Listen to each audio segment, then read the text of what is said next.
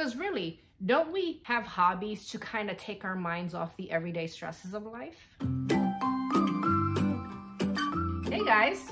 So I thought it was about time that I kind of go over my favorite puzzle must-haves. Now these are things that I use to help better my overall puzzle experience. But there is a reason why I say must-haves in quotes. And you'll see why as I talk about each item. And I'm gonna put links down below in case you're interested in any of these items for yourself. So let's start with puzzle must-have number one for me.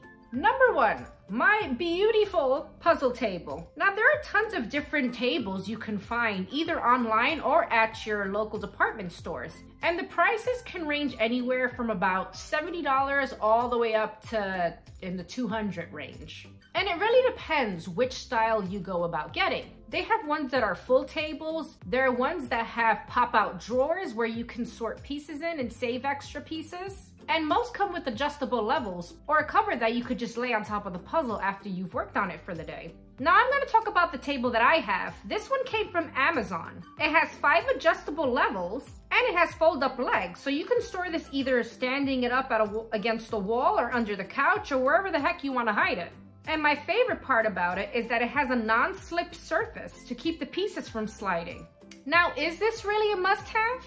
Well, no, but it sure is nice. So obviously you can use any surface to do your puzzles. Now, like me, before I got my actual puzzle table, I just used the end of my dining table. Many use foam boards, and you can pick them up from like a buck from Dollar Tree. And with that, you can even take it wherever you want in the house, which is kind of nice, really. My table's pretty heavy, so it kind of just stays on the floor and I just sit on the floor or on a cushion and I puzzle like that instead. Really, you can use any surface you are comfortable with. But if you have the money to spare and you have space for something like this, depending on what style you want to get, then go for it. It's a great item to have, and I personally think it makes my puzzle experience much better. Must have number two.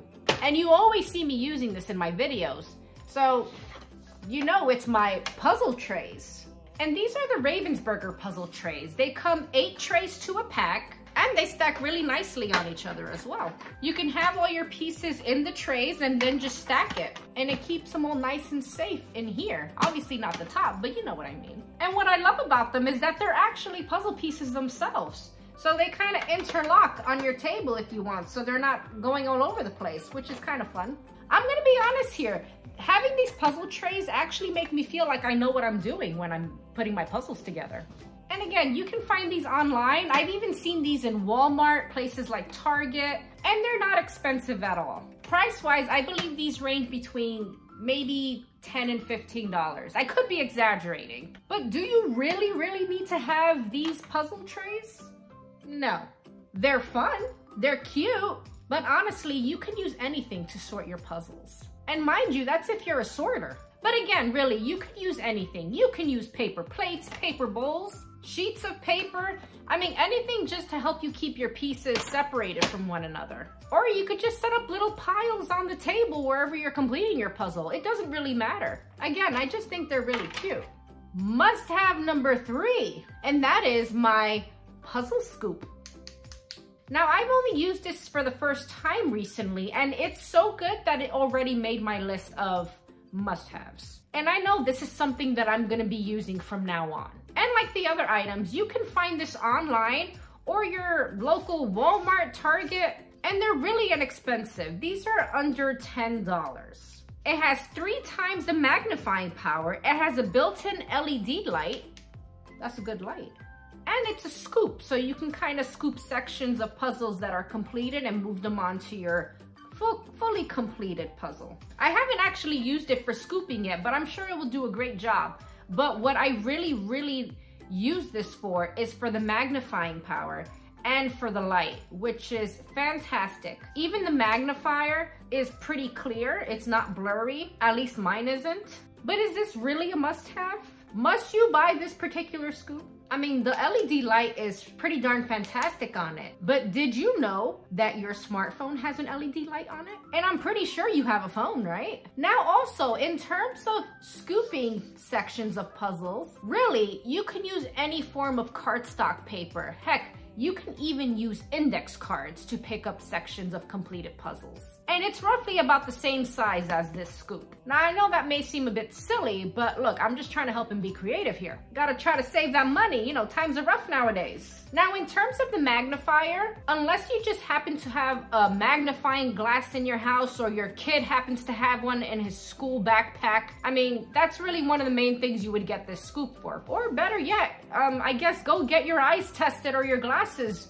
redone. I know I need to. But yeah, definitely one of my new favorite items to use while I'm puzzling. Now I have some other must-haves here, and these aren't necessarily puzzle accessories. And I don't feel like I want to use quotes on this because I kind of feel like me personally, I really need these things to help my overall puzzle experience. And if you've been watching my videos from the start, then you're gonna know what I'm talking about here. And these must-haves have to do with your environment.